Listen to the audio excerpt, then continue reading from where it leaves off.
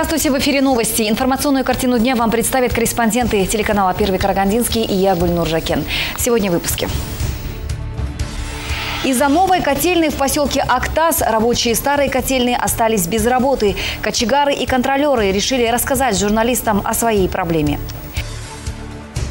Все проблемы решаемы. В Караганде создана рабочая группа, которая выезжает по жалобам горожан на плохое отопление.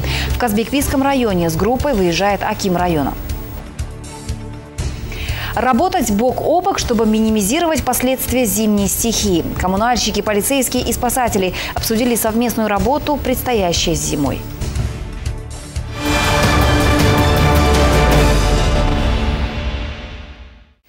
Из-за новой котельной в поселке Актас рабочие старой котельной остались без работы. Новое коммунальное предприятие забрало себе 16 пятиэтажек, которые отапливала котельная индивидуального предпринимателя Горбунова.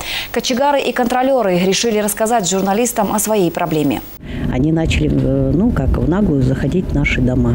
Те дома, которые мы отапливаем. Это получается, я считаю, это рейдерским захватом. Вот так ни много ни мало представитель ИП Горбунов говорит о захвате бизнеса. Они – это работники нового коммунального предприятия, которое возникло на базе новой котельной в поселке Актас, построенного на государственные деньги. Суть конфликта такова. С 2003 года 16 пятиэтажных домов в поселке отапливались частной котельной. В нынешнем году завершилось строительство центральной котельной. На это из областного бюджета выделено 580 миллионов тенге. Сегодня новое предприятие подключило 16 пятиэтажек к новой котельной. Таким образом, старая котельная оказалась без своих потребителей. Они быстро-быстро начали делать, и э, я вообще не понимаю, я обращалась и в администрацию президента, все это у нас остановилось на уровне Карагандинского областного акимата. Все эти письма были направлены Акиму Карагандинской области. До сих пор ответа нет. Каждый день я звоню, потому что мне надо ехать опять в Астану, как я понимаю. Вот. И все 16 домов, сначала они вызывали на совещание, говорили, готовить котельную, трасс не будет в этом году неоднократно. Потом, значит, они мне обещали оставить один квартал, Потом э, под конец они забрали все, получается.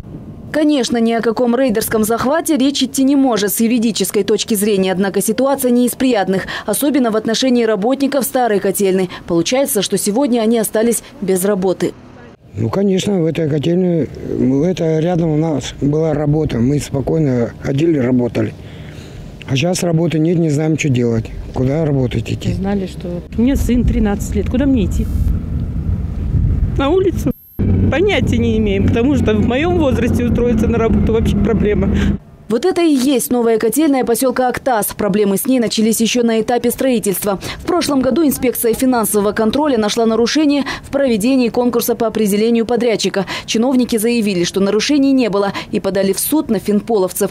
В итоге с горем пополам котельную построили. Что касается нынешней ситуации, в Акимате Актаса нам пояснили, что это делается для того, чтобы жители не остались без тепла.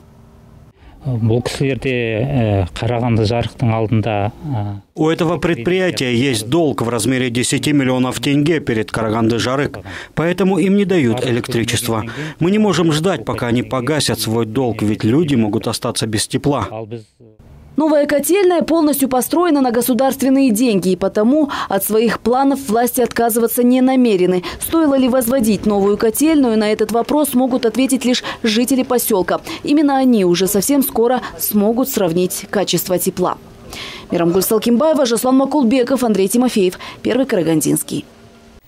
Аким Карагандинской области Ирлан Кушанов раскритиковал работу социальных служб из-за полупустого реабилитационного центра в Каркаролинске. Деятельность центра обсудили на аппаратном совещании в областной администрации.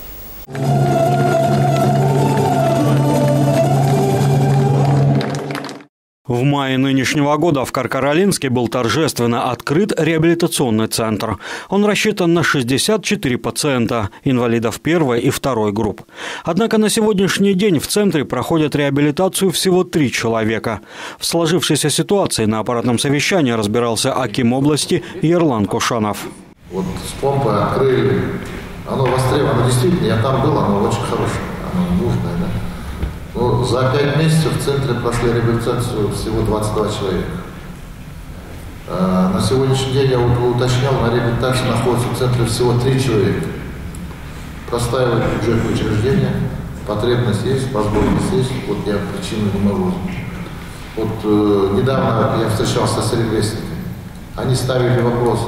Третья категория, да, кто здесь? Да, да, третья категория. Третья категория, мы их туда не пускаем, да, исключили. Если мы поставим, давайте мы им дадим возможность, чтобы они проходили реабилитацию. Механизм направления в центр стоит пересмотреть. Это отметил исполняющий обязанности руководителя управления координации занятости социальных программ Максим Галиулин. Еще до открытия центра в Департаменте социальной защиты должны были разработать индивидуальный план реабилитации. Но этого специалисты не сделали, сославшись на то, что не получили поддержки от Управления здравоохранения области. Здесь одна загвоздка – это в разработке индивидуальной программы реабилитации. Забегая вперед, хочу сказать, что когда еще мы не открыли, в 2016 году мы Департамент социальной защиты направляли письмо, что в 2017 году будет открытие реабилитационного центра. Нам нужен ИПР, индивидуальная программа реабилитации. На сегодняшний день ситуация пока такова. Чтобы попасть в учреждение, необходимо получить индивидуальную программу реабилитации. Для этого требуется справка МСЭК, заключение ВКК и справка из Департамента соцзащиты. Главу региона такое положение дел не устроило. Ерлан Кошанов поручил Максиму Галиулину и сотрудникам Управления координации занятости и соцпрограмм области в ближайшие дни отправиться в Каркаролинск и разобраться с проблемой на месте. Андрей Тен, Андрей Тимофеев, Первый, Карагандинский. В этом году запуск тепла в Караганде произведен в небывало ранние сроки. Этому поспособствовали ранние заморозки. Теплотранзит постарался на славу, но жалоб от жителей не стало меньше. В Акимате района имени Казбекби созданы мобильные группы по проверке заявлений граждан. С одной из таких групп отправилась и наша съемочная группа. Отопительный сезон в Караганде начался с 1 октября. По сведениям чиновников, тепло запущено в 1429 многоэтажных зданий. Но жалобы поступают регулярно. Наша мобильная группа решила проехать по основным точкам, откуда пришли заявления. Улица Нуркена Абдирова, дом 28, дробь 2. Здесь было холодно до недавнего времени. Я не жалуюсь. Сейчас или на улице, но у нас тепло на первом этаже. А в каком да. времени у вас отопление дают? С 1 октября никогда теплое одеяло не берем, не укрываемся. Действительно, в квартире тепло, супруги одеты легко, градусник показывает плюс 28. Да и в остальных рядом стоящих домах форточки открыты. Следующая точка улица Крылова, дом 48. В квартире тепло, хозяйка недоумевает, кто мог жаловаться. Я живу с, с 2001 года вот в этой квартире, и все эти годы было очень тепло. Можете проверить, все балконы у меня открытые.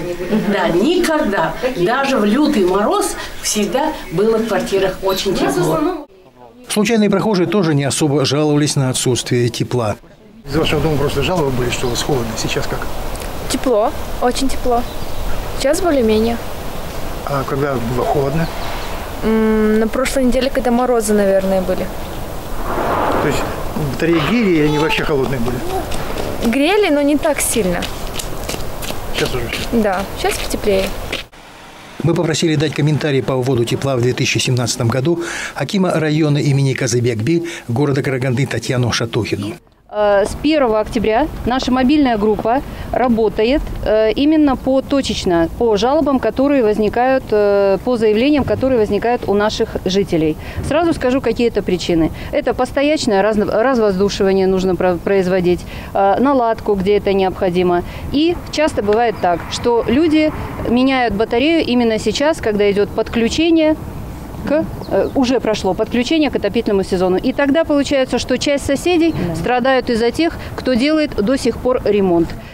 Ответственность жителей не снимается. У них задолженность по углю тянется еще с прошлого года. Собственники квартир так до конца и не понимают, что они должны вместе с органами самоуправления работать в тандеме с государственными структурами. Даже коты находят компромиссы и греются на солнце вместе под осенним солнцем. А у людей так почему-то плохо получается. Почти каждый день мобильные группы выходят на проверку домов. Там, где есть КСК или кондоминиумы, проблем нет. Где все пущено на самотек, там и тепла нет. И тем не менее, отопительный сезон начался. Э, все дома, э, находящиеся на территории района имени Казбекби, э, знаю из совещаний, которые проводятся на уровне Акима области, Акима города, то, что постоянно этот вопрос находится на контроле, и по городу у нас запуск тепла произведен. Сергей Высокосов, Андрей Тимофеев, Первый Карагандинский.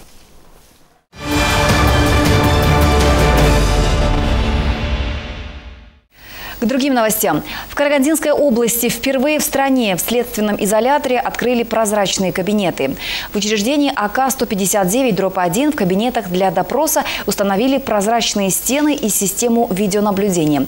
Теперь за допросом подозреваемых и последственных могут наблюдать родственники. С реализацией пилотного проекта в рамках гуманизации уголовного процесса знакомился прокурор Карагандинской области Марат Сексенбаев. Игорь Терещенко не понаслышке знаком со всеми следственными действиями еще с 90-х годов. Он рассказывает, что в то время следователи не гнушались допросами с пристрастиями. Сегодня он в качестве подозреваемого находится в изоляторе временного содержания учреждения АК-159-1. Положительные изменения заметил сразу. Прозрачные стены, видеонаблюдение. Все это заставляет следователей действовать только в рамках закона.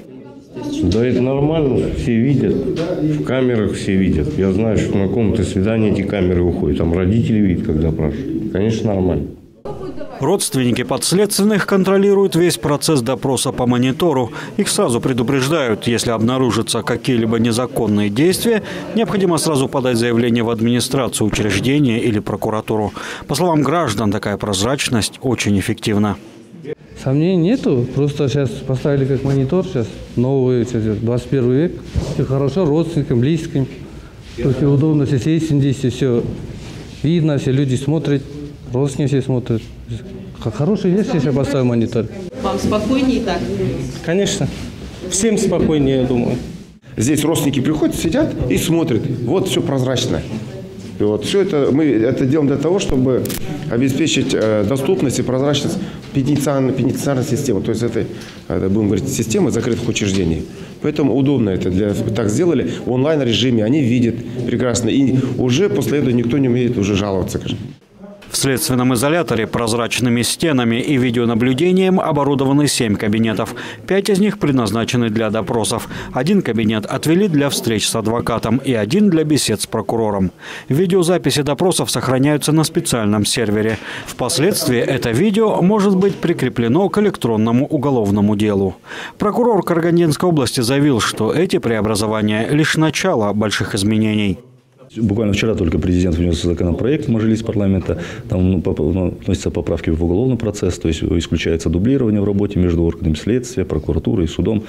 Э, усиляется судебный контроль за досудебной стадией уголовного процесса, то есть ряд следственных действий, санкционированных следственных действий, э, негласных следственных действий передаются под контроль суда. То есть эта работа непрерывна, она будет постоянно вестись. Я думаю, очень много новшеств впереди еще нас ждет. В прошлом году в следственном изоляторе было проведено более пяти тысяч допросов.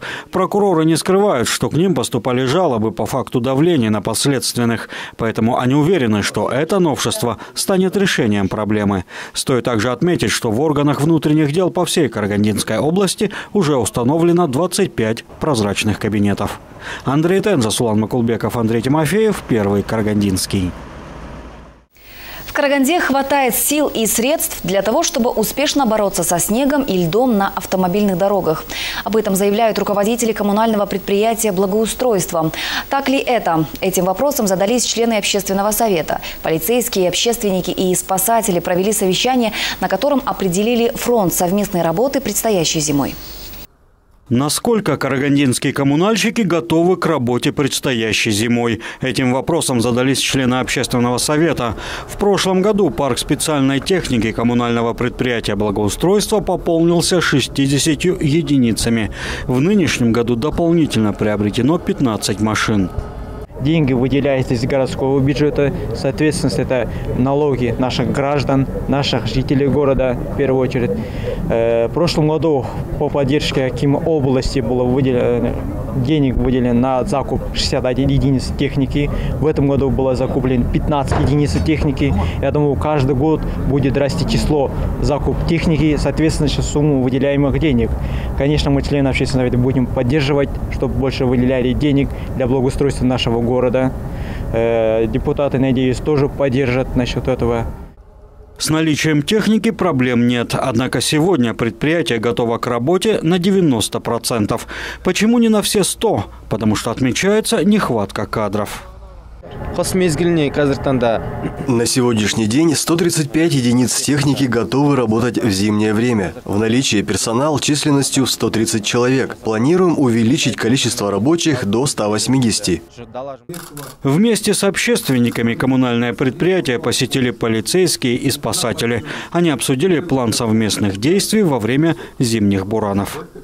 Ну, морозные дни, да, говорят, в этом году очень много будет морозных дней. Э, ну, конечно, естественно, и буранов э, не исключено должно быть. Так что, думаю, в этот год, как и в том году, отработаем с местными исполнительными органами. Спасибо вот э, ребятам нашим полиции, которые вовремя дороги закрывают, открывают. Пока, например, благоустройство чистит, Полиция дорогу перекрывает, э, не пускает, например, машину за предел нашего города. Андрей Тенту, Леген Рашидов, Андрей Тимофеев, Первый Карагандинский. В Караганде судьям помогают медиаторы. Это люди, которые помогают конфликтующим принять решение, которое устроило бы всех. В республике продолжается работа по внедрению медиативных способов решения споров. Отдельный кабинет для медиаторов скоро появится в Казбекбийском районном суде номер два. Уладить споры и разногласия, не прибегая к суду. В этом заключается главная цель Института медиации. В январе 2011 года в республике был принят закон о медиации. Сегодня идет масштабная информационно-пропагандистская кампания. Публикуются статьи о медиации. Почти во всех судах проводятся семинары и круглые столы. Объявлены наборы на курсы подготовки медиаторов. О преимуществах медиации говорили и в Казабекбийском районном суде номер два. Главный плюс для суда – это снижение нагрузки. Во-первых, это снижение нагрузки э, работы судей. Я э, говорил на круглом столе, что нагрузка одного судьи в нашем суде Казбеки номер два, она превышает норматив 8 раз. Вы представляете, какая нагрузка на судью, это конвейер целый. А если бы разработал институт медиации, некоторые бы, например, иски, споры, они до нас не доходили бы до суда, люди бы не, не шли сюда в суд. Они бы на месте спокойно все эти вопросы разрешали. Медиация – это быстро, это комфортно, это почти бесплатно, заявляют участники круглого стола. Нет необходимости принимать участие в многочисленных судебных заседаниях. К тому же все медиативные соглашения строго конфиденциальны, тогда как судебные заседания проходят в открытом режиме. Внедрение медиативных технологий в разрешении конфликтов, на, на мой взгляд и на взгляд вот людей, с которыми я работаю, это на сегодняшний момент самое правоприемлемо и удобно. Совместно с КГУ Кугамдык Келесым аппарата Акима Карагандинской области в Казабекбийском суде номер два намерены организовать дежурство медиаторов. Для этого медиаторам выделят отдельный кабинет для работы. Теперь медиацию еще больше внедрят для урегулирования конфликтных ситуаций. Участники круглого стола отметили, что любой спор имеет конструктивное решение. Обращение к платному медиатору, возможно, выйдет порядком дешевле, чем обращение в суд. Ведь там необходимо оплатить услуги услуги адвоката, государственные расходы и тому подобное. Андрей Тент, Олеген Рашидов, Андрей Тимофеев, Первый Каргандинский.